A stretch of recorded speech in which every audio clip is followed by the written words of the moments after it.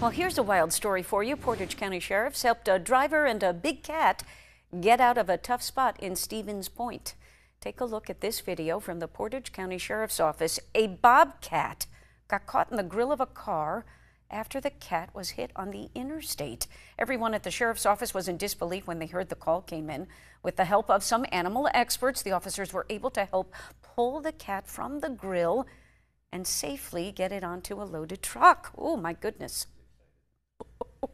drove him back down to the location where where he the bobcat was struck because we wanted to put it back in the uh, area in case the uh, bobcat had uh, young ones or something so that it could tend to them. As unusual as this might seem to me, the sheriff says this serves as an important reminder for drivers.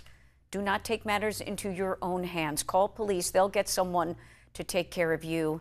And if you ever have a spot like this, you want the professionals to make sure everything is done properly.